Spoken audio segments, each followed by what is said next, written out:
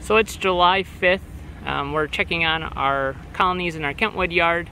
Um, it's very hot, it's 90 degrees, so you can see that they are all bearding on the front, trying to stay cool. Um, you can see them also fanning.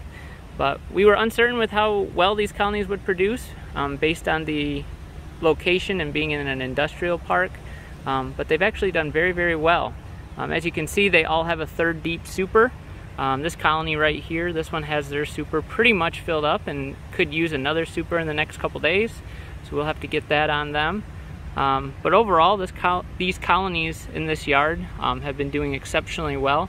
Um, maybe we should add uh, another hive or two.